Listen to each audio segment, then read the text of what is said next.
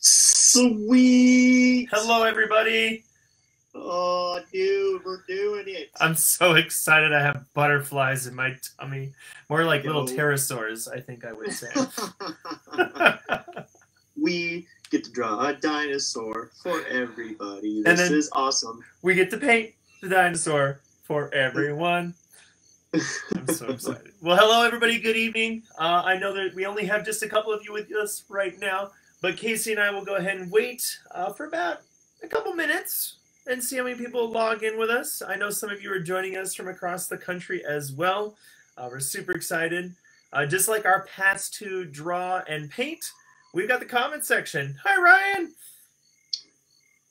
Mr. Bruton. Oh, I'm so excited to have you, dude. we got Courtney. Hi, Courtney. Hello. Oh, yes, Seattle. Thanks for the cold. We appreciate it. I know it's about time. It is about time.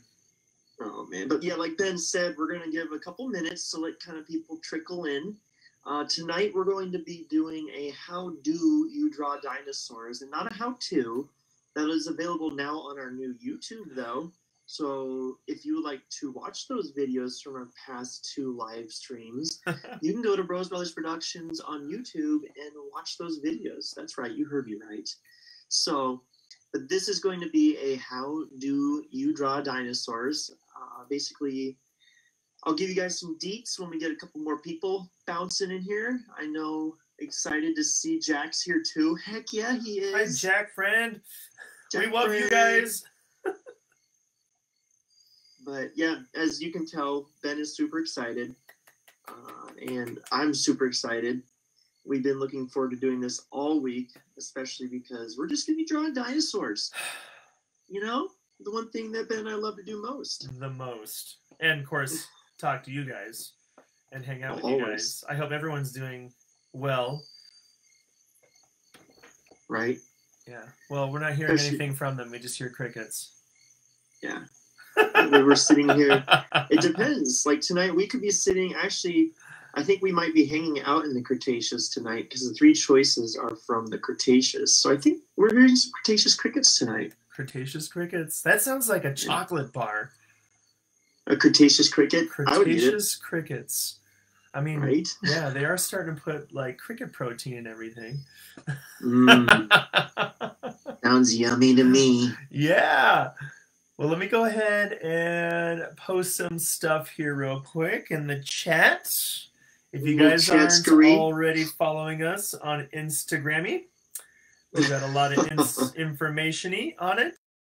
We've got that awesome entered to win a 3D printed T Rex skull.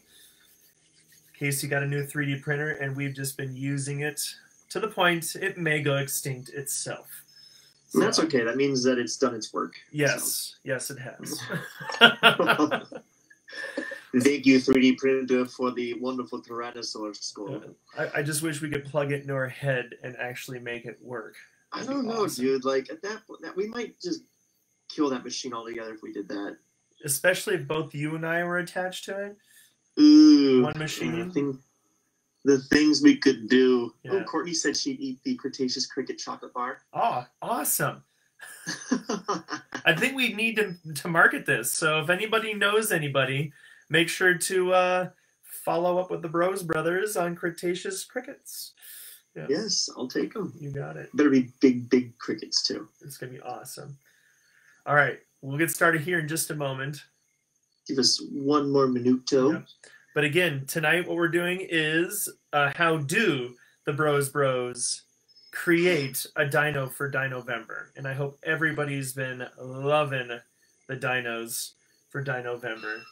I know I have, Casey, and it's been a ton of fun working with you on this, uh, challenging Ooh. myself to speed paint, which is pretty awesome. There's a lot of great Ooh. tutorials out there on how to speed paint if anybody's interested, but we may do something like that on our Facebook Live in the future. So, Heck yeah, dude. yeah. Well, that's the point. You know, we're here to share all these wonderful, wonderful things that we've created, and we just uh, really love doing it, and feel like we're just going to continue to do this. Well, yeah, like So- like our core values say, you know, create, inspire, believe. All right. Well, with that, guys, um, let's go ahead and get started. Uh, again, my name's Ben, Brose Brothers Productions, and who's joining me this evening? But Well, that's me, the guy who sounds just like Ben, So Casey weird. Brose of Brose Brothers Produ- Productions. And uh, like Ben had mentioned earlier, we're going to be doing a How Do You Draw Dinosaurs, Casey and Ben Brose. So tonight, I'll go ahead and just begin, if you don't mind, Ben. Do you think that can I, you know? yeah, let me go ahead Okay. and post the poll. Oh, well, yes, we got to definitely do that. Yeah. All right. So, The lines are open, folks. You have a chance. We're gonna let you vote, Casey. Throw throw it Oh. in there. so number one, we've got Wuerhosaurus, which is a Cretaceous Stegosaurus, which is unusual. Is it Therosaurus? I think it's a maybe Wenosaurus or a Huosaurus. A what? No, A whatasaurus? it's a Werosaurus. That theresaurus. Okay, so it's number one. You got number one, Wuerhosaurus. Number two, Gorgosaurus. This guy was a tyrannosaurid, also from the Cretaceous, but he lived a little farther north. He wasn't part of, you know, the Montana, Wyoming range. This guy was trotting around in the uh, Arctic Circle area, hunting down large hadrosaur dinosaurs. So Gorgosaurus, which means, I believe has a dreadful lizard, like a gorgon. Oh, are you a kidding me? With those legs, I would say it's a Gorgosaurus. Oh, Get it? Uh, Guys, this is gonna be horrible all night long. oh, yeah, see? A Gorgosaurus. a Gorgosaurus. We All right, so the votes are coming in. Case they're coming in hot. Sweet. Oh, And then number three, we have one of my favorites, honestly. Uh, this is Euplocephalus. What a big word to say. This guy was also a Cretaceous dinosaur, and he was part of the Ankylosaurid family. So you'd find him walking around with that big old club tail. He's got armor to the eyelids, just like an Ankylosaurus. or and they were actually really big. like Ankylorhinosaurus. Okay, don't. Okay, really I'm getting really okay, bad with the corny jokes. That's all right. You know, if we're gonna tie in some of your favorite stuff, it might as well be Star Wars and dinosaurs. Star, star dinosaurs. yes, Oh. Denise, uh, it's going to be a long night with jokes. Rachel's Oh, here oh, too. All right. I know. Look at everybody's here. So if you guys haven't voted already, go ahead and click on that poll. Number one, Wuerhosaurus. Number two, Gorgosaurus, and three, Euplocephalus. Yeah. So go ahead and slam those votes in there. I've only got And then- four, and there are nine people viewing. So if you guys want to be a part of this, you better throw your vote in. Yeah, these ones really count, They really do. and we will then, not be honestly, doing a recount. yeah, the more we get, the more you know. We know what you guys want us to draw, and I will draw you a sweet dinosaur. All right, I'm still waiting on about two votes, but we're gonna we're gonna close the lines here momentarily, so Casey can get started on whipping up a Wuerhosaurus. Oh Or a- gosh, Yep, or a, a gorgeousaurus. Gorgeous or a Uplo. What is that? Yeah, You got it. yeah, it's tough. It's It's a tough. tongue twister. We, we've been up since about five fifteen this morning on a sunrise hike. Shelby insisted, but we did it, and it was gorgeous. We did. It was And we talked about dinosaurs as well. Yeah, it's just kind of a normal thing to talk about. All right, Ben. One more minute. all right. One more minute. Get those votes. in. Shelby says All right. one wins or this whole thing was rigged. Yeah, well, you're you're just gonna have to deal with it. We're not gonna do a recount. awesome. Looks like Olivia's are here. Awesome. Yep. Olivia. All right, Strange Ways, Strange Way's here. What's up, everybody? right. Thank you, Strange Ways. Oh my gosh, we're so excited to have you Uh, guys here. I'm getting pterosaurs in my tummy right now. Pterosaurus We also have tummy. a middle of a raptor T Rex battle. Oh, I think That's we not managed good. to make through it. So oh, there's a, a Tyrannosaur. We're used to hearing those. Okay. All right, buddy. Well, That's what it. The, votes? poll, all lines are closed, folks, and the winner is drumroll, Casey. Bigida, bigida, bigida, bigida. Was that a bigida bigida or a drum roll? Oh, here, let Thank you. It's Euoplocephalus. If I said that right. All right, guys. Well, we'll you know we'll make sure that we pull in Gorgosaurus and Wuerhosaurus at some point. But don't worry your pants. Tonight we're going to be doing Euplocephalus, this amazing armored tank of a dinosaur. I'm just really excited to be doing this guy. Hi, Shayla. There's our niece out there. Nick, thank you for Oy. voting for three. It has officially won. Yes. So we are going to start drawing this guy. Wow, that's a really wonky smiley face. This is the winner! Yay! Thumbs up. Yay! It's like a Yay. Dinosaur hand thumbs up. Excellent. You guys, we need stickers that for the Facebook Brose Brothers Live said I voted. All right, I voted for Euplocephalus. And If you didn't, that's okay. We're not going to judge you. so, all right, Hi, Vivian. awesome. So I'm going to go ahead and get started. Ben, does that work for you? Yes, it does. All right, so Excellent. while Casey's drawing, oh, thank you, Vivian, for letting us know Trenton did a drum roll. Casey's did suffice. Ryan, you could have done a way better drum roll. Um, so while. Casey's drawing, uh, I'm gonna just kind of chat while we're going through here. It's gonna be a back and forth conversation. So again, if you guys have any comments about anything, or you'd like to know something more about a dinosaur, I am on the line. Um, if there's something you guys want to know about when it comes to dinosaurs, we can find something out for you. Uh, Casey and I are very fortunate, as are our two other brothers, to have two parents, not one, but two, that are you know, usually that geologists. Yes, it's pretty awesome. You need two parents for, well, generally that to work, I guess. But anyway, um, you tell them, Ben. You tell them. yes. Uh, that they, Alright. they're both geologists, and we fell in love with rocks as tadpoles. And uh, yes, we were tadpoles, so that makes our parents frogs, I guess, because you need two frogs in order to make tadpoles. But Oh my goodness. uh, Casey and I got into this a long time ago, and I don't know about you, Casey, but when it came around to that part in your life where you're being judged um, in high school, uh, dinosaurs weren't that big of a thing. Like nobody liked dinosaurs. Of course, we did. Hi, Natalie. It's so good to see you. All, all of our high school friends are here who didn't judge us. or didn't just, you know, we're very kind to I, yeah, that's true. No, they, they still love us. They're still here.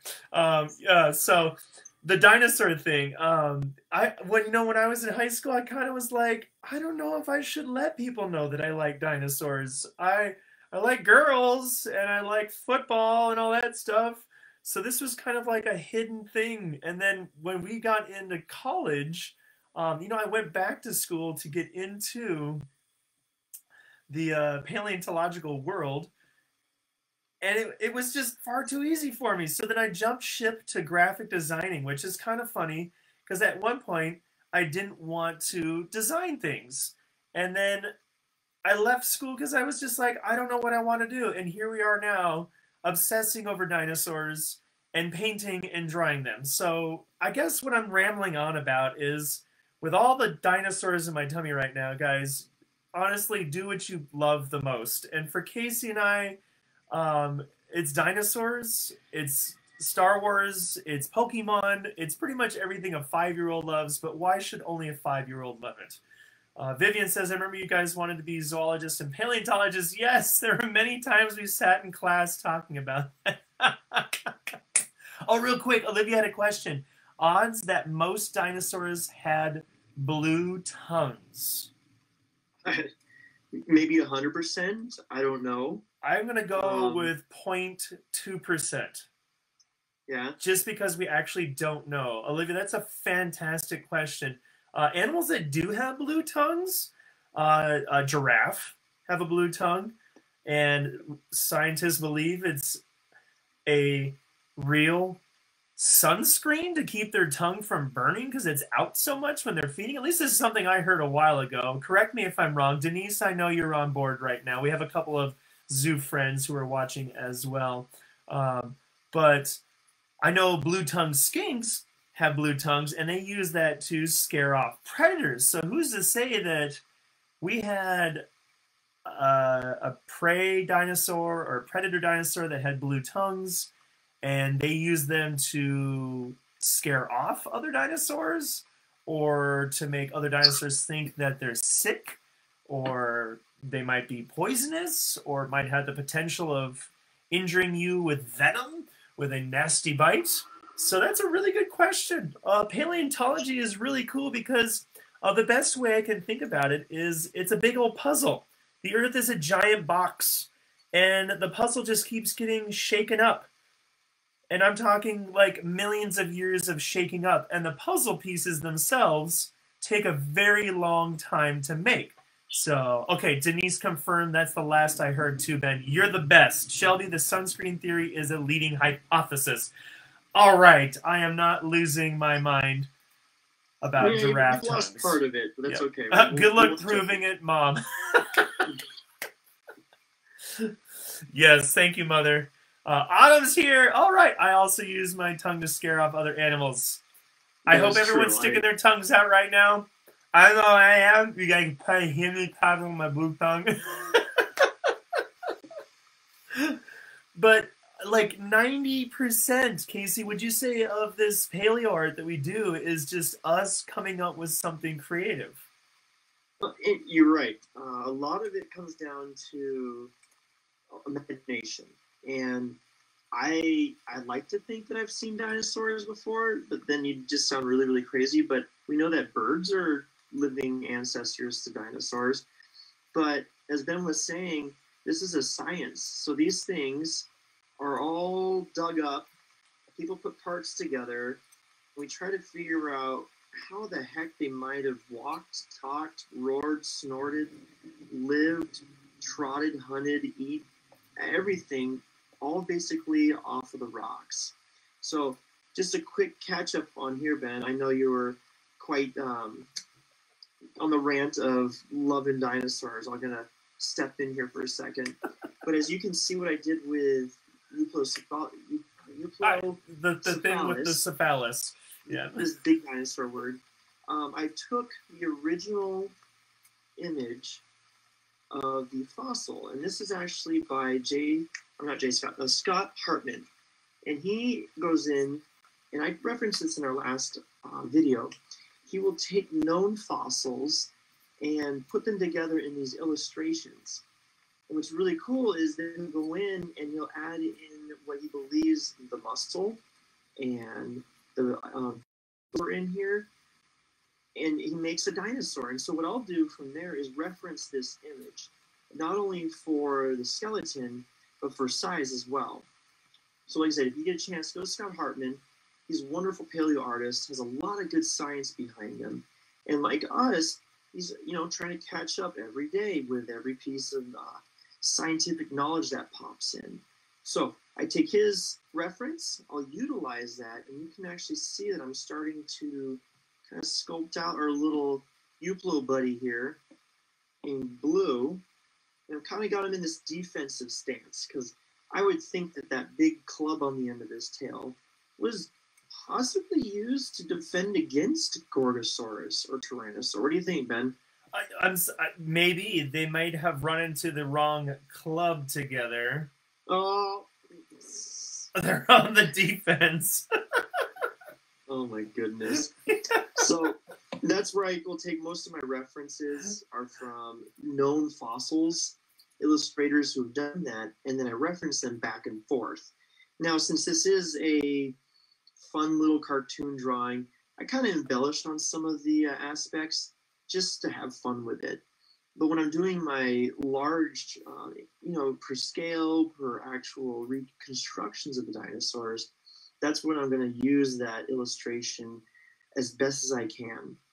And, you know, you send it to anybody who is a paleontologist and they will criticize you. I've had a guy, you know, tell me that all my drawings are wrong, and oh boy, that do something to the ego. But that didn't stop me.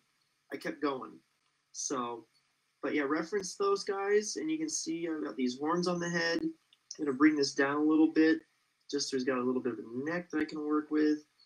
And right now, guys, I'm on Procreate on my iPad, and this uh, program allows me to use Apple Stylus to draw the image that you guys see in front of me. So what's really neat is I can move pieces. I can come in here and cut them out and slide them around if I want to, and readjust the different sizes of this animal. I like this pose. What do you think, Ben? Does I like, like he's ready to? It's on the defense, that? almost like it's bringing it around for a a home run out to center field, past the fences. Got it. So he's clubbing, huh? That's right. he's hoping to score. you got it. Oh my goodness. So yeah, we're just gonna pop back and forth here. Do you want to give a couple dino facts? About dino this? facts. Yeah, I think every time you say dino facts, we need to use that voice. Ready? Dino facts. Dino facts. Okay, you got to get a little bit crazier, like a monster truck rally. Ready? Dino facts. Dino facts. Okay, now you sound like you're ready to announce a jazz band. One more time. Okay, monster truck rally. Okay, g- give me the lead up here. Ready? All right. And today we've got Euplocephalus. Dino facts. Yeah, yeah. That worked. That was much better. Okay, I'm hoping so. okay, okay. Let's get into some dino facts, people. Okay, so Casey said we got Euplocephalus. Uh, it's a pretty cool critter. It's basically a walking tank. If you guys have ever worked alongside an armadillo, uh, pretty much imagine it the size of a car. And this creature was about 4,400 pounds. I'm going to remember uh, a, a ton roughly is 2,000 pounds. You got it. So we're talking a dinosaur that's roughly two tons. That's huge. That's a big dinosaur. Yeah, that's about the weight of an Asian elephant, a female, if I'm not mistaken. That's pretty big. What does yeah. Mean? So Euplocephalus. Oh my goodness! If I try, oh, right, it's one of those big words. It's okay. I was never good at spelling bees. Yeah, but I could always spell my name. well, that's a good. I hope you can't. I, they're so bad. You people won't get refunds for this. I'm. I am not sorry. Okay, let's see. Euplocephalus. What does the name mean? Normally, I can find these right away. Uh, Do you want me to tell you what it means? Oh, you know what it is. You've had it no, this whole time. No, I'm gonna let you find it. Oh, come on, dude. It's more fun that way for me. Okay, well, I'm gonna cheat a little bit, and I'm gonna ask Google. Normally, I'll know what these things mean off the top of my head, like Casey. oh, let's see. Yep, I'm cheating, folks. I'm on Wikipedia, which is horrible. Just make sure to cite it. Always go down to the bottom and cite your sources. Um, your sources? It, it, oh, that's bad. Okay, well, in the thesaurus, if you were to put in euplocephalus, um, it would mean well armored head. There you go. Woohoo! Waka waka. Oh, wait a minute. That might be copyright infringement. I'm sorry, guys. That's all right. That's all right. That's okay. So, well armored head, as Casey is drawing right now. These dinosaurs, like Casey said, are part of the Ankylosaur family. Basically, the walking tanks. Some of them had huge clubs on their tails. Some of them had large horns on the clubs of their tails. It's just amazing to think that these things were carrying around these tails that were hundreds of pounds. You wouldn't want to get in the way of it, that's for sure. Um, and they believe that if a large theropod, so bipedal carnivore, aka Shelby when she doesn't have her coffee, yeah, uh, will easily swing that around and smash it into animals uh, like the legs of predators, those theropods. Gorgosaurus, which is one that we actually were gonna have you guys or had you guys vote on. So, yeah, it's pretty awesome. So Gorgosaurus would have been a predator to Euplocephalus, cephalus. Uh, we're gonna get this right eventually, Casey. Wikipedia is awesome. Okay. Thank you, Shelby. It can be accurate. so, armored tank, armored head, well armored head. These animals, uh, even an ankylosaur was found with armored plates on its eyes, eyelids, I should say. So I guess they're technically on their eyes. But uh, imagine if you're working in the garage and you forgot your protective eye gear, PPE. All you had to do when a screw goes loose is just close your eyes, and you have these awesome, wicked armored plates to protect them from that flying shrapnel. Every last piece of this dinosaur seemed to have had some sort of armor. Uh, however, if I'm not mistaken, Casey, correct me if I'm wrong, the bellies weren't so much protected. That's right. They had little soft bellies. Little soft bellies. Give it a little pat. Little pat, like roll over its back, give it a pat. oh, I totally would. I'd scratch his little belly. Yes. Oh my gosh. So I guess predators would try to flip this animal over if they could. Try and flip 4,400 pounds of awesome dinosaur power uh, after getting past the giant club. Oh my gosh. I just had a really good Pretty idea. awesome. These guys should be What? the bouncers to the Oh. Cretaceous nightclubs. Got it. Uh, I mean, they're they're definitely. I mean, I don't know how much bouncing they do, but they definitely do some smashing. Oh. well, there's a lot of, you know. Okay, so on another note, uh, Canadian paleontologist Lawrence Morris Lambe discovered the first specimen on August 18th, 1897. Ooh, that was a long time ago. In the Dinosaur Provincial Park. Cool.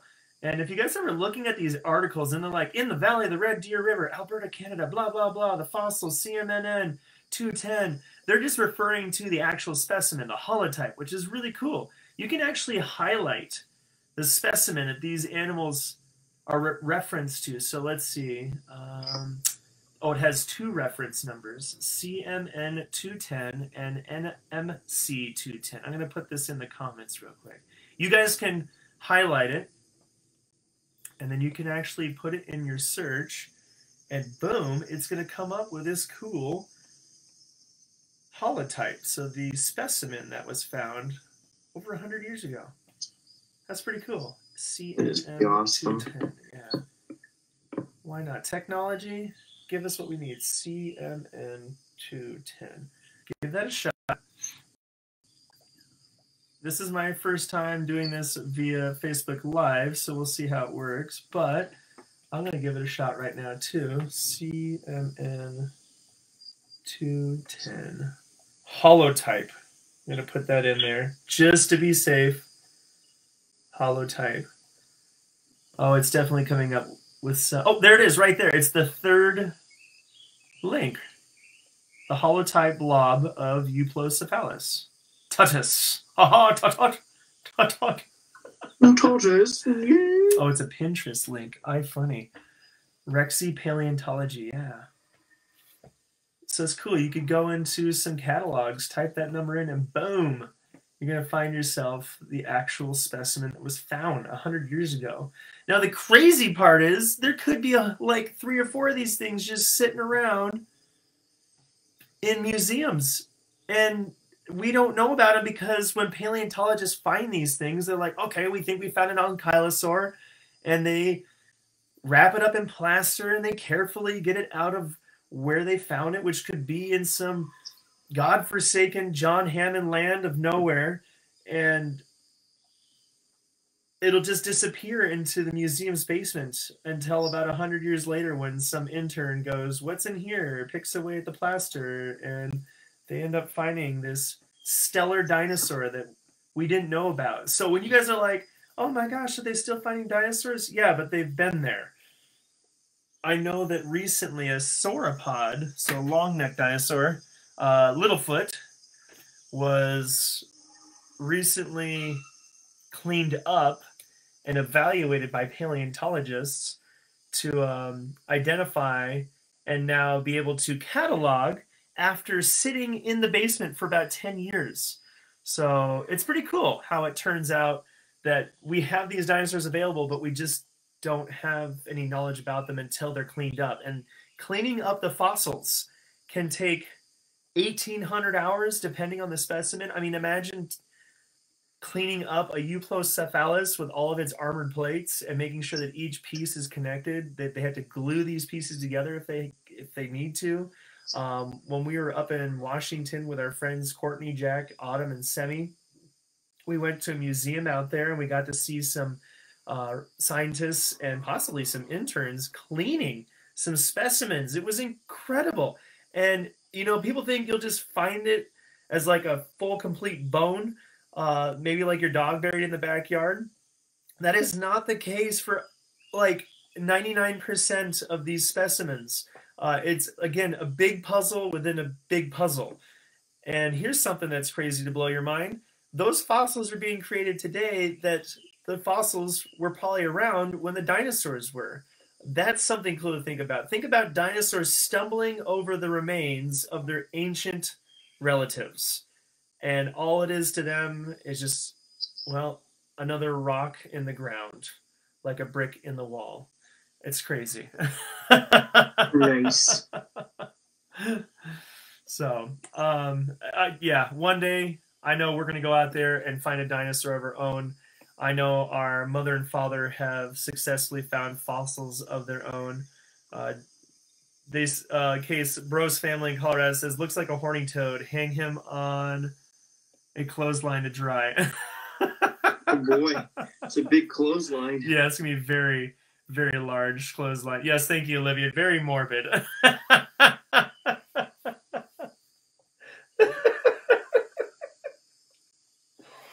oh, we won't get into the things we used to do as children. Imagine having four boys.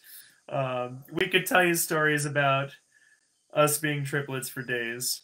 And I think one of my favorites, Casey, is the fact that you and I and Mitch and mom and dad and even Jim, we got to give Jim some credit. If you don't know who Jim is, he's our older brother.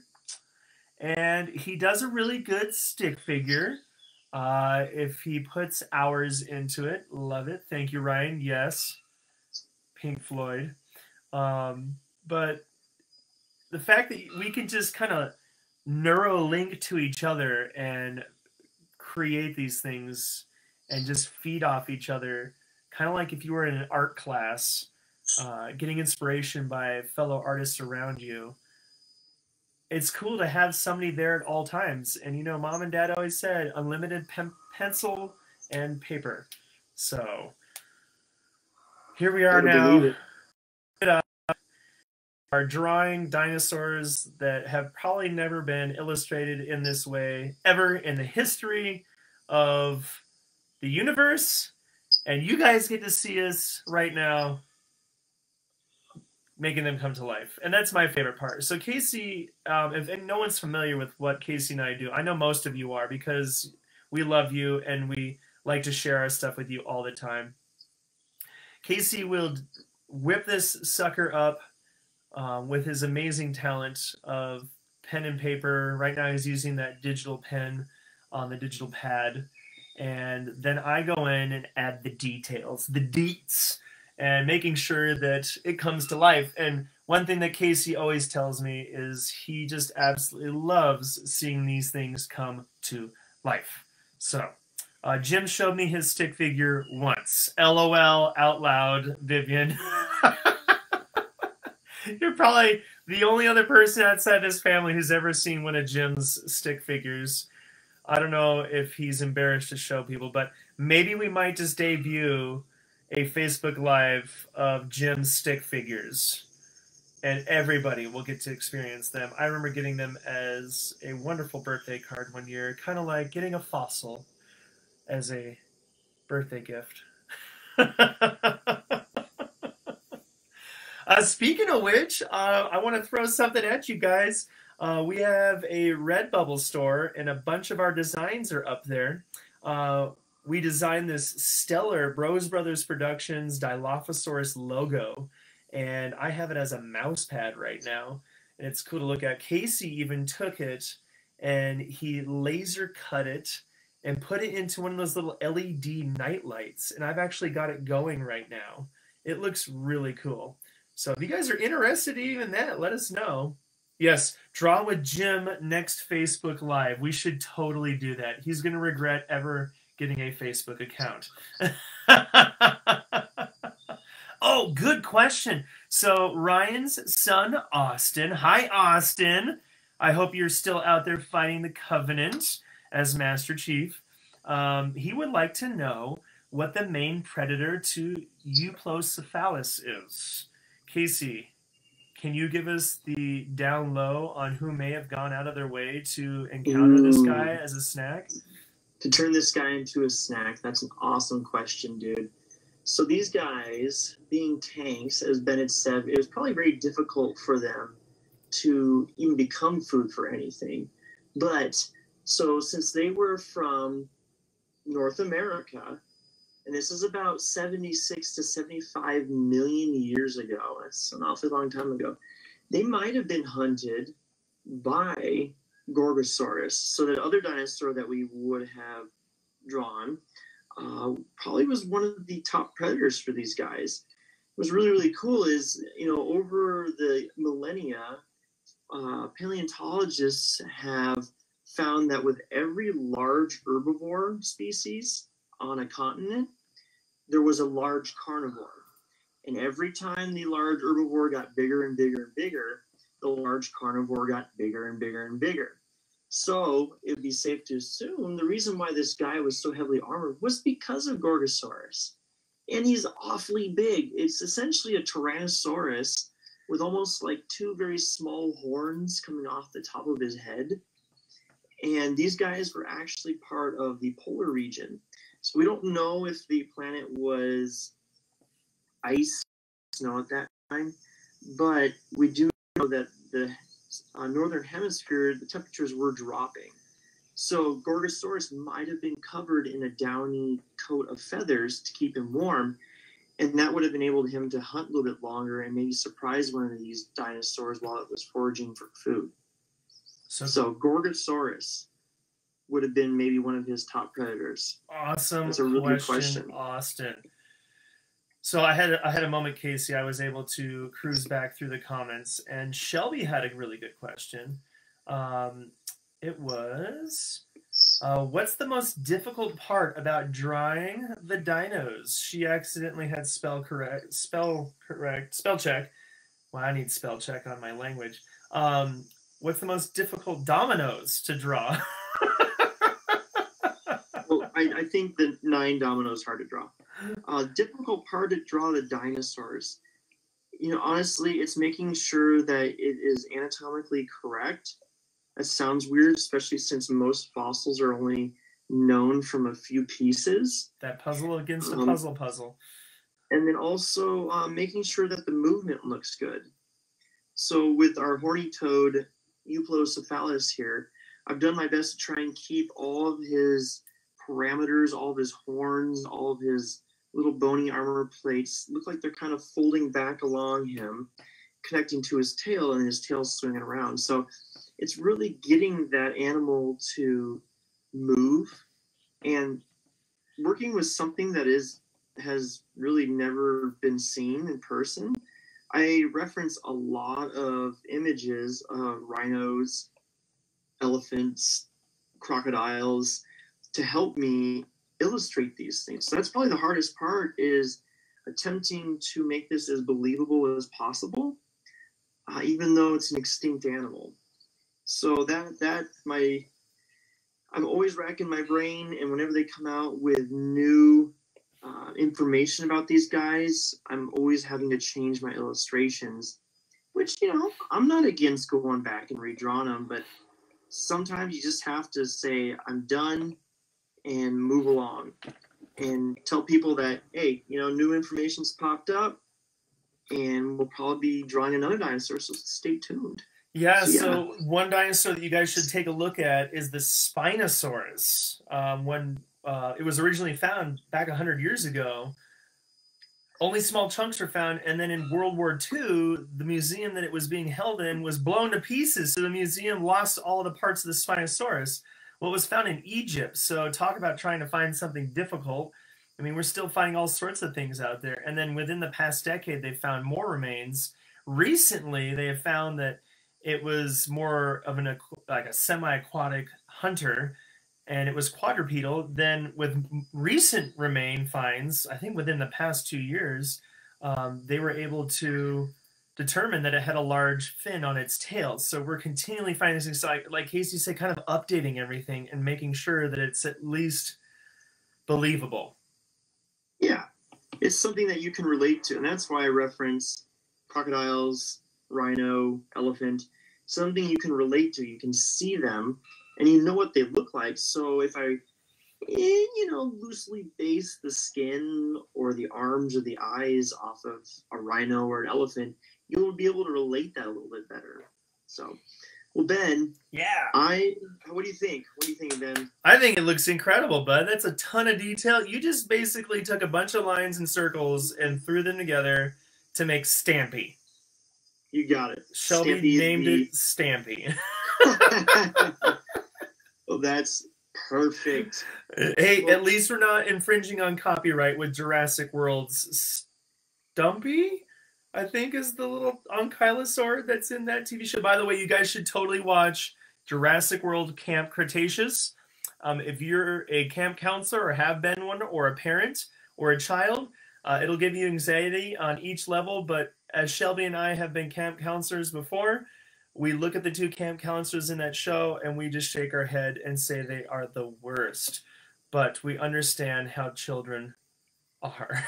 or they could have been the best because they let them go play with dinosaurs. That's so true. That's so true. But anyway, yes, Stampy, the Euoplocephalus is amazing. And don't go anywhere, anybody. I we've actually had quite a few people stay with us because we're going to give you the opportunity to choose. What? Thank you, Shelby. It was bumpy.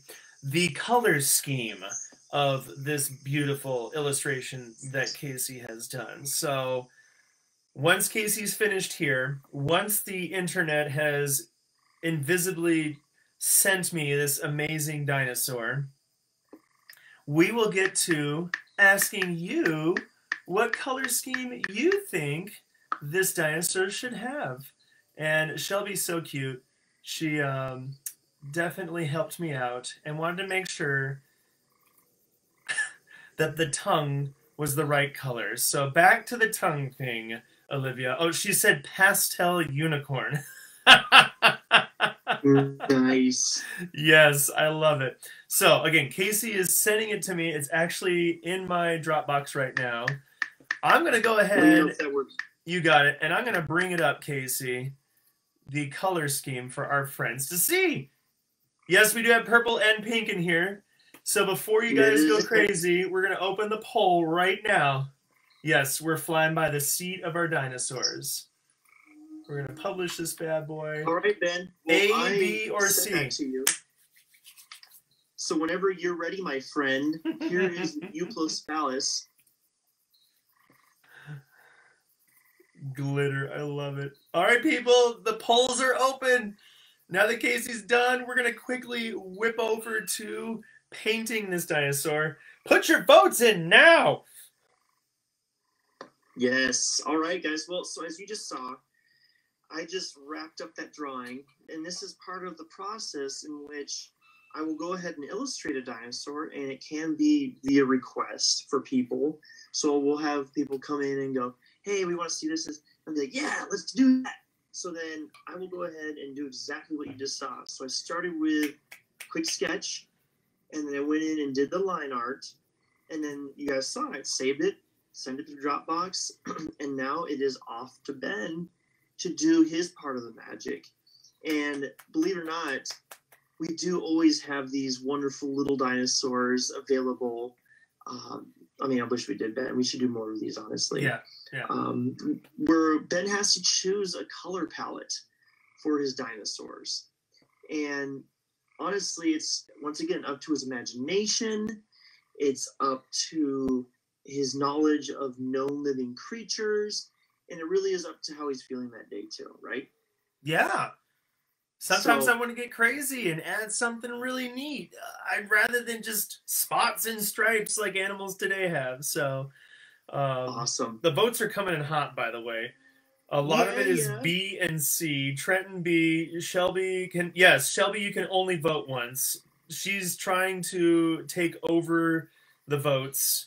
Calm down. Austin and Everett also vote for B, so green. Um, Semi was up there with B. Thank you, Semi. Uh, the Rose family is at C. S- Shelby, stop voting. For, she's got 13 votes in here. Well, again, tenacious. I think they're of dead people from the Mesa County. Yeah. oh, it just jumped. We're getting more votes in. This is great. Awesome. Someone has an unhappy face on Olivia's Oh, vote. I think it's sorry, Olivia's comment on Shelby can only vote once.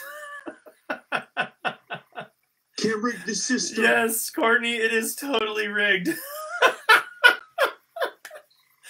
All right. Okay, you guys have been amazing. This is great. This is like a war for the color scheme. And so far, Kayla, yes, B, put in your vote, please. Good to see you, Miss Jarnigan. I hope Josh, Mr. Josh Jarnigan, is with you. Um, Jack says Oh, C, man. but uh, yeah, one vote per group will accompany a few in there as well for those who are in multiple family groups. Um, this is I can't get over the comment section. No, we got a battle for the dinosaur colors. That's it. Okay, so we're gonna close the polls here in about a minute, my friends. So get your vote in. Yep, you can click that A, B, or C. In case he can practice on his drum roll. Yeah, right. I know. Not actually do a vocal one, maybe one on an object. Yes. and then we'll get to painting this beautiful Euoplocephalus. Yeah, Lu- U plus phallus. B for Ben Brose is the bomb. Oh, that's why I married you. Uh, Is there like a, a heart times 1,000 on this thing? Ah, I love her so much. Shelby Brose, people. Shelby Brose. Oh my goodness. All right, you Five- two love Five birds. votes All right, let's for go them. and wrap up that poll, Ben. I'm gonna Okay. do drum roll. I can actually do one this time. Yes. Okay, you ready? Drum roll, please. The votes are in, folks. Casey The votes are in. And Autumn. We are not changing the rules halfway through. The results are. Can you guys see that on the screen? I see the three. 50 50 for both B and C. So. Oh my goodness. Yeah, you guys were determined. In no bribing the judge, Shelby. She's probably going to come running in here. Josh All right. says B, and I'm gonna that go. I'm gonna say that Josh he did the vote to win it, yes, and we're gonna go with B. we're going to So- go with B, the green. Courtney says, right, and thank you guys for choosing this color scheme. Wow, look at that, man. Mix it together. The poll counters are biased. Listen to this. My goodness. Hey, we set up all these, like, you know, glitchless. We, there's no way we can't count. This is a poll, darn it. Oh man. All right, Ben. So this is his chance to Okay. begin the coloring part of our process. Uh, So thank you guys for participating. We really appreciate it. Ben is getting a kick out of all of the comments being left in the Facebook uh, comment section right now. this is great. But all right, Ben, go ahead and let her rip, dude. Yeah, let me get our Euoplocephalus up here. Oh, Got that it. was. I'm crying right now, Casey. Olivia's gonna Yeah. sue. Oh goodness. They might Anyway, throw your case out of the, the courts. So we got our little dinosaur friend who is showing us our color palette currently. And what Ben's gonna do is take from this image, and so he's using Adobe Photoshop, not Illustrator, but Photoshop. This is something that he's been learning for probably what the last twenty years. Jack so wants it's to been, re- uh, we- two two requests for recounts. I'm sorry, guys. uh, it's late and we've been up early. This is great. Okay, Casey, please continue. I don't want to. I don't want to stop your excitement, man. You're having way too much fun right now. I can't even concentrate. Okay, focus, Ben. Focus. Oh Okay. my goodness. All All right. right. So, um, like we were saying, thank you guys. It's really good to hear him laugh and get excited about this and go nuts about all the comments. Um, so yeah, what he'll, he's going to be doing is taking the colors from the image itself. So our little Tyrannosaur that you guys Oh. voted for, um, he will be most likely pulling the base color out first and illustrating there. So yeah, as I was saying, he's using Adobe Photoshop, and at home he's got a Wacom tablet with a stylus, and this is allowing him to color the image. Uh, he'll go through it, uh, most likely select the image itself, and then work within its boundaries. So. Unfortunately, he cannot color outside the lines. I'm sorry, I, guys. as much as I love to, that's for a different day. yeah, but we got to constrain him, you know, within the lines. So okay. the fight is still on. Yes, it is. Fighting for a dinosaur. and no, Courtney, I have not had a beer. Uh, this has been without a beer. Oh, As this is hilarious. Yes, it is Jim. Uh, growing up, we always had a ton of Freckles. Okay, so like Casey said, uh, the program I'm using, the setup I have is an iMac. It's, it's just absolutely fantastic. I'm going to actually add each color in as a separate layer. Um, if anybody's familiar with Photoshop, it is amazing. And I used I've been using it now for 20 years. Oh, hold on, we have a T-Rex and Spinosaurus battle. KZ, hunker down. I'll do my best. All right, I always have to cover my eyes. Yep. Oh man, it's ruthless. It's bringing back memories.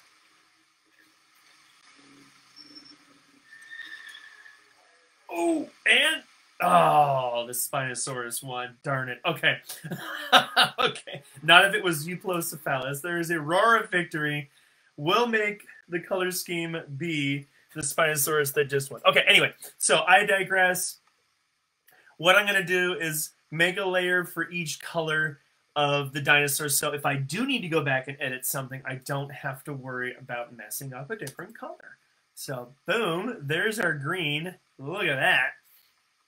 Actually, I believe that's the underbelly color that we're supposed to get. Okay.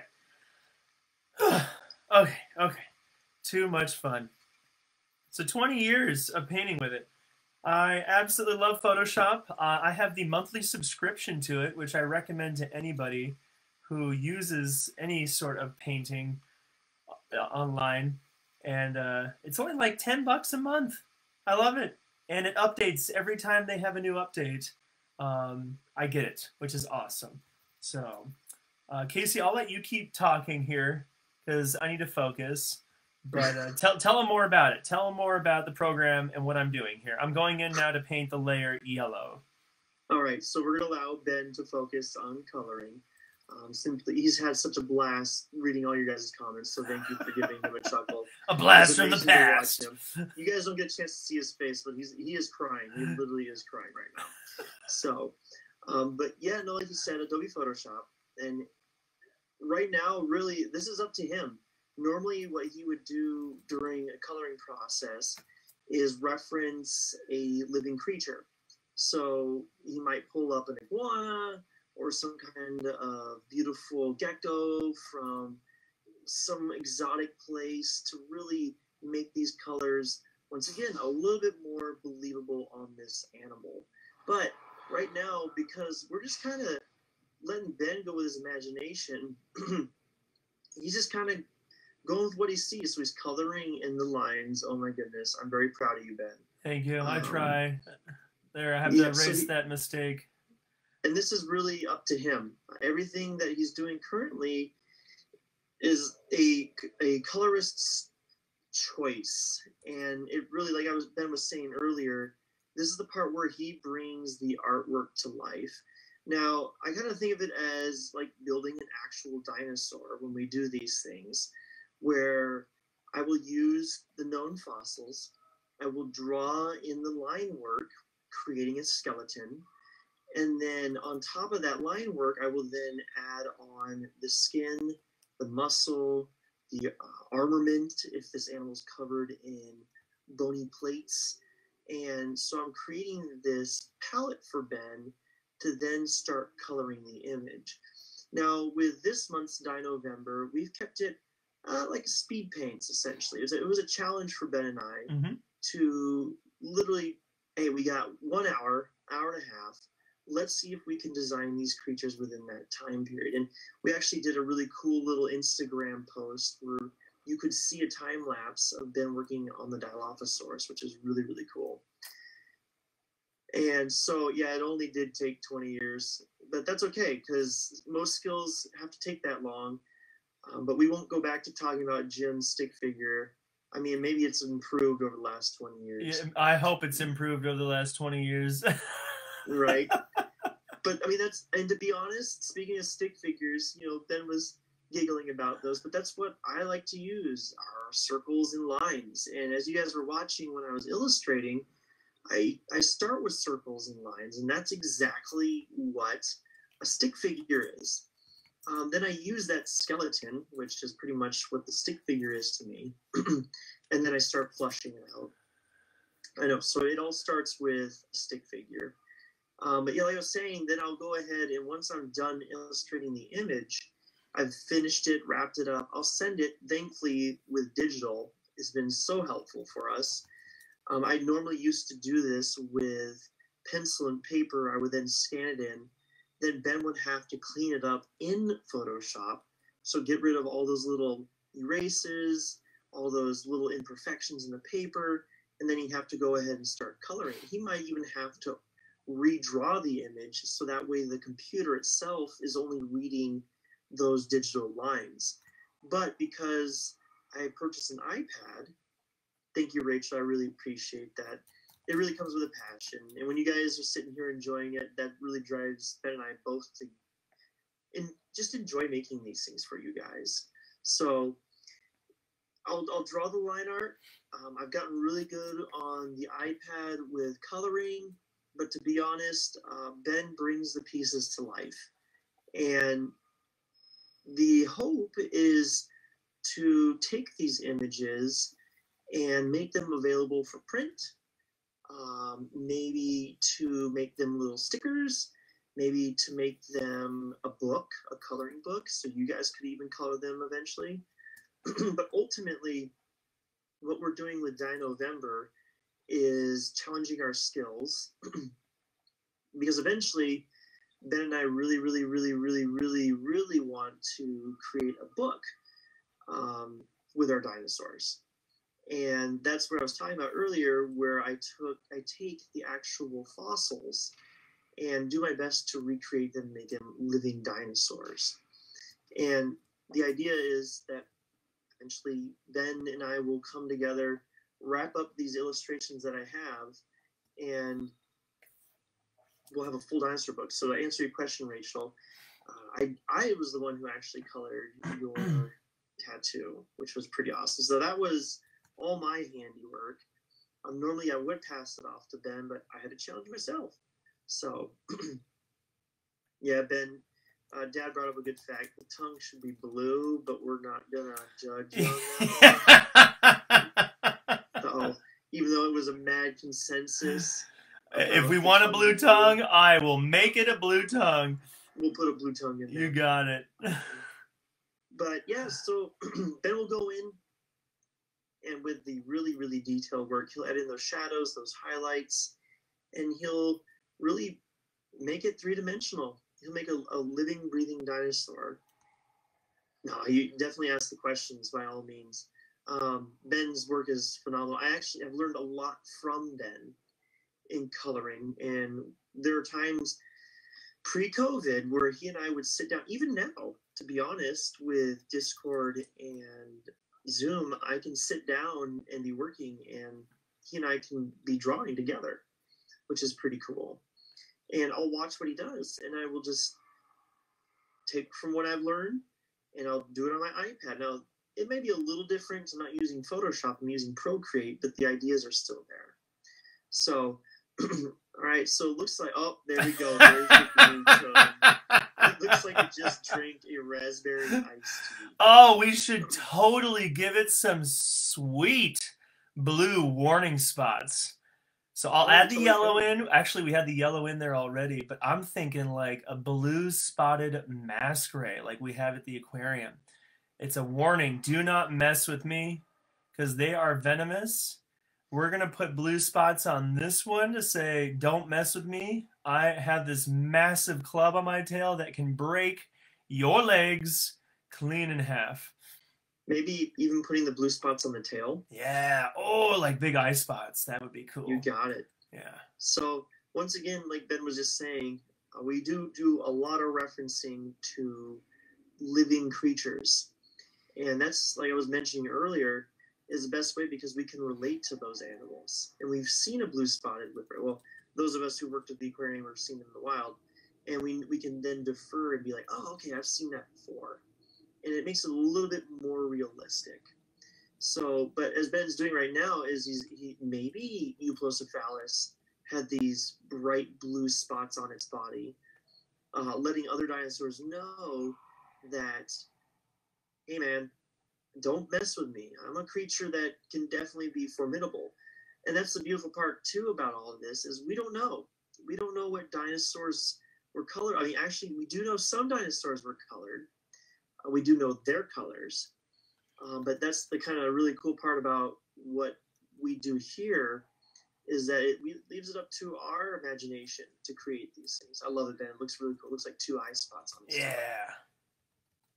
Yeah, the, the, the, warning sign on the tail. Back I mean, off, man. And honestly, this could have been a display for female Euoplocephalus as well, where the males maybe during the time of rut their colors would change and then they would walk around strutting their tail, strutting their spikes to the female Euoplocephalus, and they would, you know, maybe battle for the ladies all off the colors. So, really, it's up to Ben. Uh, but there are some dinosaurs out there that we've been able to analyze fossils and read the signatures within the fossils and directly analyze them to squid ink. Crazy, huh? So squid ink has very small little molecules that make it up and give it its specific color. And they went into it's called let me double check really um Archaeornis. Yeah, I think Archaeornis. It's feathers. You got it. So this dinosaur, Archaeornis, um, was a recent discovery within the last 20 years. And this animal, uh, when it was found, its fossils were so well preserved that they were able to go into the rockwork and analyze the structure of the feathers and find out that this animal actually had black feathers with white patterning on its leg feathers and wings, and then it had a red crest. That's pretty awesome. Yeah, that's like and with that's, phosphates and stuff, if I'm not mistaken, using electron microscopes. Yeah, exactly. Way down to the nitty gritty structure of the feathers and analyze it and base it off of known structures, which is amazing. Um, even as a scientist, to be able to do that, I just, yeah, Archaeornis. I'm going to pull them up here. I'm going to actually put them on the disc or the um, Facebook Live feed here. You guys can check them out. But the known patterns that are on this animal are from the fossil. This wasn't something that somebody made up. These were pulled from the animal itself, which is amazing to even think that that could even be done. So there are some dinosaurs that we know had colors because we were able to analyze their feathers. Through, so those through fossil remains. Exactly through the fossil remains. Because if you guys So have a dinosaur out there and you don't tell us, uh, we're coming for you. Exactly. I couldn't agree with you more. So let's see if this works. I get this picture in here. But anyway, so that's one really cool thing that they have for this animal is an actual color pattern, not one that has been imagined, but one that has been recreated. So I just posted in our Facebook Live um, comment section the Anchiornis huxleyi, and that's the animal. Go ahead and throw that into your Google really quick. That they've analyzed the feather structure and found the colors. This is a real dinosaur. And what a cool thing to be able to witness to know that they have all those beautiful stripes, crests, uh, feathers, and and that's what I'll add into a lot of my designs as well. And I remember speaking of feathers, uh, when Ben I started drawing dinosaurs. Ben was very upset to find out that a lot of dinosaurs had feathers. Well, it, it was it was the way that they were putting the feathers on them. They looked like little fuzzy chicks. Correct. Yeah, okay, that makes more sense. Yes, so they you know, they make these big fluff balls, but feather dinosaurs we believe are really really colorful, just like birds today, and they might even have an iridescent sheen to it.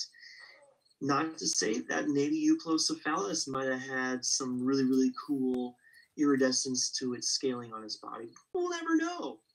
Um, but that's really up to us to have fun with it and enjoy putting these palettes together and really get motivated and inspired by you guys and your choices. So, Ben, I think it's looking fabulous. Thank you. Yeah, and thank you for Yeah. letting everybody know about the different dinosaurs and color schemes. It's absolutely incredible. I mean, imagine just dropping a paint bucket and 65 million years ago, later someone goes, "Hold on a second. Right? Um, but they can tell what colors this animal was. Yeah. yeah. It'd be absolutely fascinating. So I wanted to bring up real quick too. I don't know if uh, anybody has been with us in the past or seen our work on Instagram or has personally seen it. What Casey was talking about, how we use re- reference modern day animals. Um, I can bring up one of our Paleo Trekkers pages of the dinosaurs in detail. So Casey, you think about which dinosaur we would like to take a look at, and then I will pull it up out of the ones that Oh we've boy, used. Yeah, that's, we that's have. a big one because there's so many dinosaurs. yeah. yeah. Um, I think my absolute favorite one that you have done so far, and it's not because I'm biased, it's my favorite dinosaur, but Stegosaurus. Okay, okay. than And- But let's let's check out our, our buddy here. Once you get done with him, let's let's zoom him out. Yeah. And Yeah, Rachel had a quick question down there. So this is a real dinosaur. Uh, are you asking about the Ar- Unc? Is it Anchiornis or the Euoplocephalus? Yes, both of them are real. Um, again, they're only fossil remains, so we have really not the slightest idea of exactly how much this dinosaur looked like, except for the remains that it left behind. But Euoplocephalus is a real dinosaur, just like Anchiornis. So pretty wild. Like Casey was explaining, we were able to find those remains and uh, determine via latest technology. We love technology and science and determine um, what it may have actually been made of. And those elements were, were there when we found it. And lo and behold, Yeah, a couple of scientists dug it up, and now we get the chance to attempt to recreate these amazing animals. I yeah. think that's my favorite part. Anytime they bring up a new dinosaur, Ben immediately, honestly, my Facebook feed explodes when there's Yeah, new mine too. found. Mine too. and I take it upon myself to attempt to draw the new dinosaur, um, which is really really cool. Oh, and believe it or not, I didn't. I don't think I've ever mentioned this, but I have an actual scientific illustration that was published in a science article Yeah. of a species of fish that existed much, much, much like far before the dinosaurs exhibit, Mhm. existed. And I had a teacher at NAU come to me and ask me to recreate this fossil that he had found. It was legit. And it had never been done before.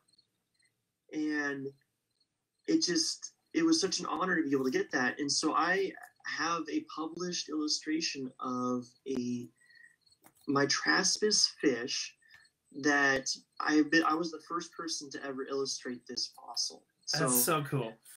it was amazing. Yes. And and we just keep doing it because we love it. Well, thank you, Rachel. We appreciate it.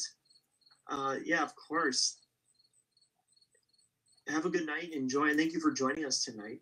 Um, but yeah, it looks like Ben. He's turning out beautifully. He, she. Do you want to go he? Let's go with no, a she. I, yeah, this is she? a this is a, a girl who can take care of some theropods. yeah. Yeah, yeah. No one's no one's gonna get in her way. No way, man. I wouldn't. She's no. pretty awesome. Thank you, Denise. We we really appreciate it. Honestly, you guys coming in here and being a part of this with us, it means a lot and it just inspires us to continue to create these things.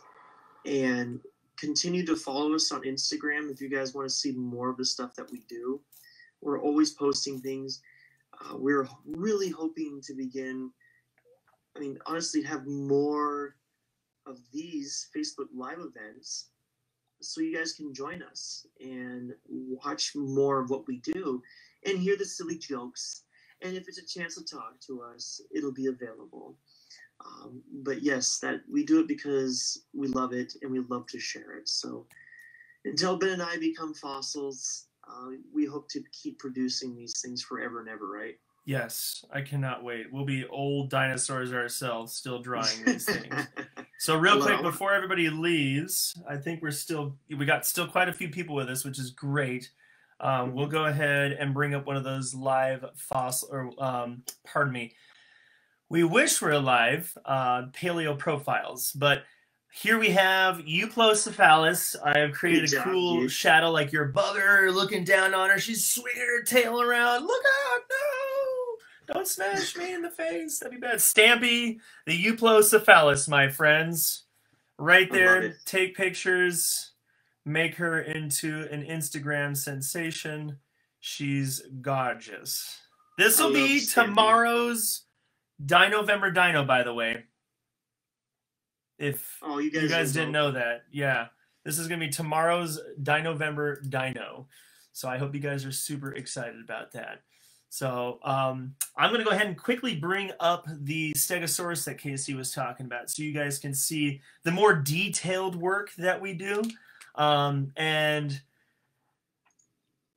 as Casey keeps mentioning, as, as I always do, I like to reference real world animals that live today. So they got they live today.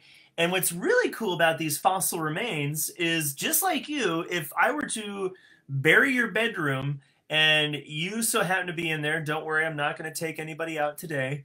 Um, and your remains are with it, I could tell where you could necessarily have come from. So I'm talking ecosystems and environments. So I like to research our dinosaur friends here and I like to find out what environment they came from. And how can we figure that out?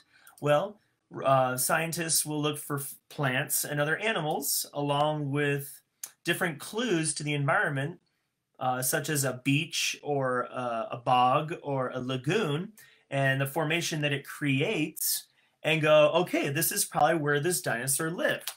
And so I look up animals that live today that would come from those similar environments and I like to kind of add that. And I like saying kind of because I use a lot of those dinosaurs and animals as reference. So this is Stegosaurus stenops.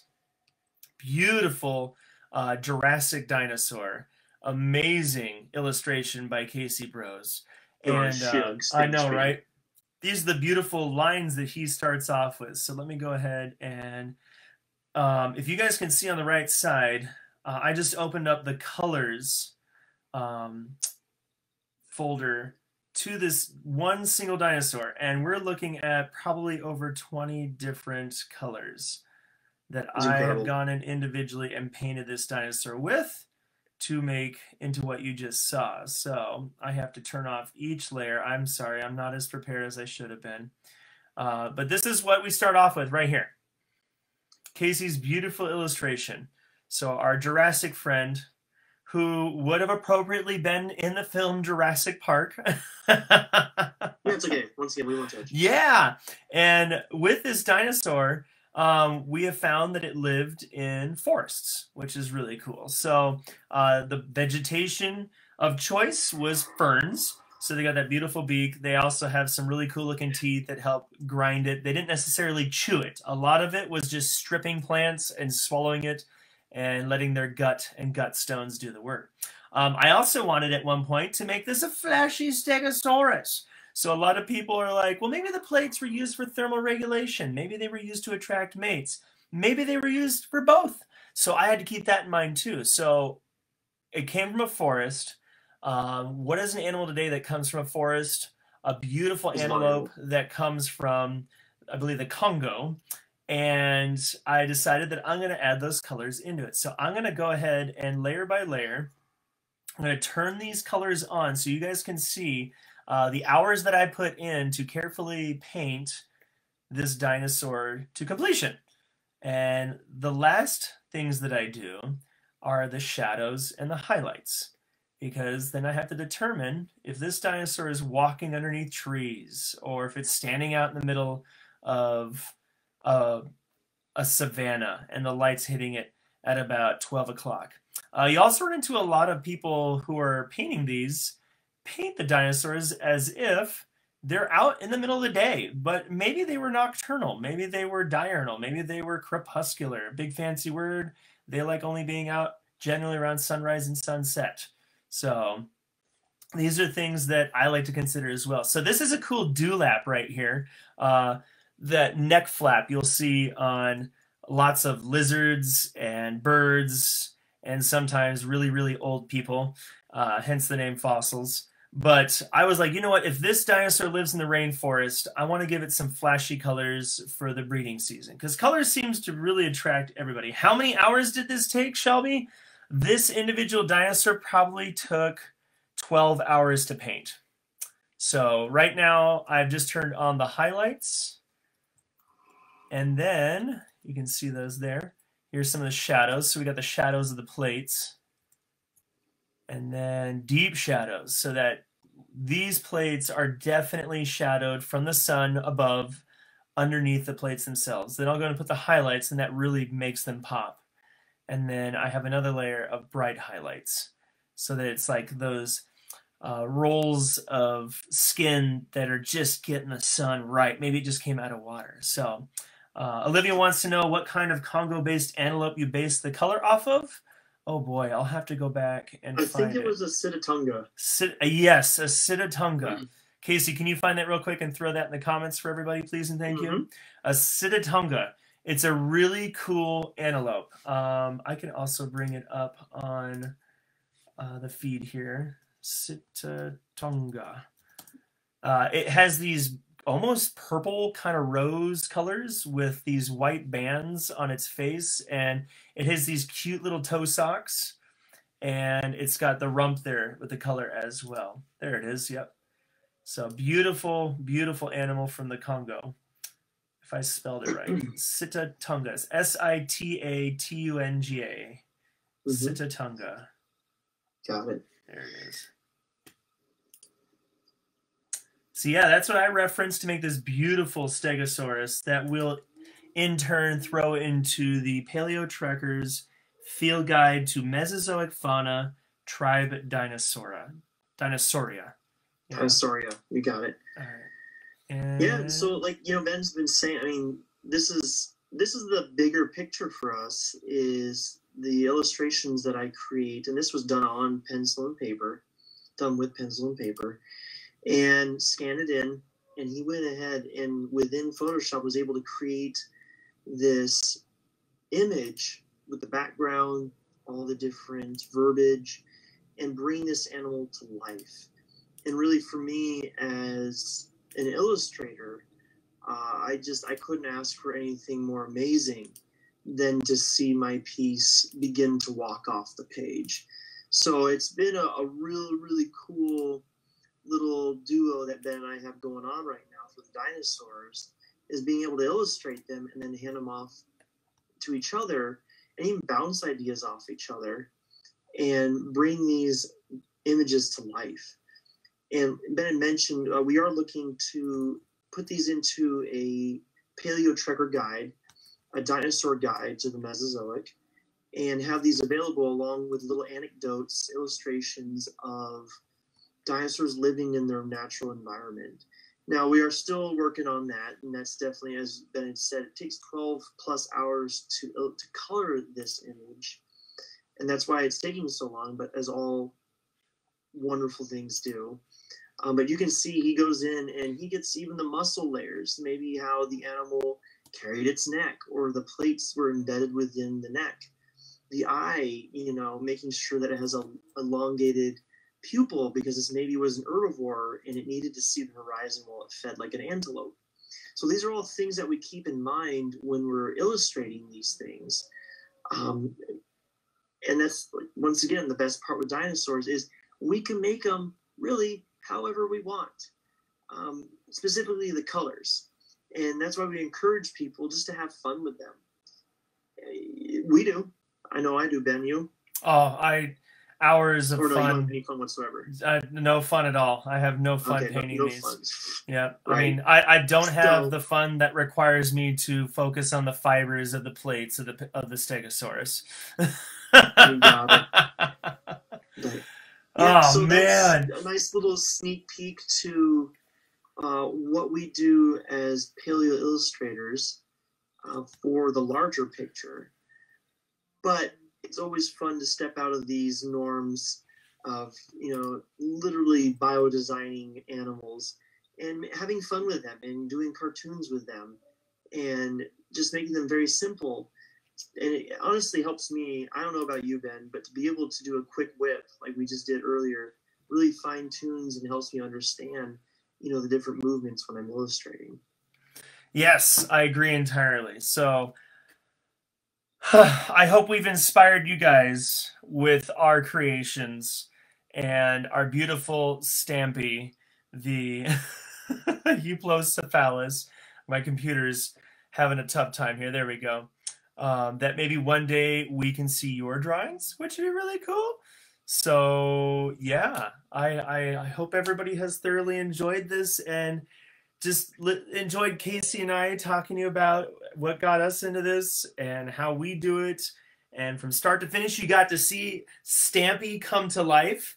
Hashtag Yes. Stampy. I think that's our thing for this dinosaur right here. Uh, Courtney, yes, thank you so much. I hope you are so inspired. um, that at the end of this, uh, we might end up having uh, early reveals for you guys with the book that we want to come out with. Of course, that's going to take some time, like Casey was saying. But in the meantime, you can still support us online. Denise, thank you so much. We miss you so much. And please continue to post photos of the animals you see so we can reference them. Shadows and highlights, please, from any time of the day because that is one thing that I need to see the most. If you could do that, that would be great. Please and thank you. If not, I'll continue to love and see your wonderful draw or uh, ph- photographs of the animals that you get to see that are about the size of dinosaurs every single day. Uh, love you, Yeah, so babies. like Ben was saying, you guys can follow us on Instagram, Brose Brothers Productions. Stampy will be the Dinovember for tomorrow. So you guys you guys got to see this get created and now we're gonna post it for the world to see, which is awesome. You guys get first look at it. Um, but yeah, continue to watch us on Facebook, on Instagram, our new YouTube channel. We're looking to post more videos just like this. And that way we might even have how-tos on you know maybe other things other than dinosaurs. Who knows? So keep tagging along on our adventures. Hopefully you've enjoyed this evening.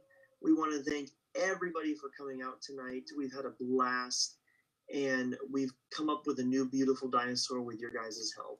Ah, and it has become probably one of my favorites. I'm gonna have to go out there and I'm gonna say that this is probably one of my new favorites because it is beautiful.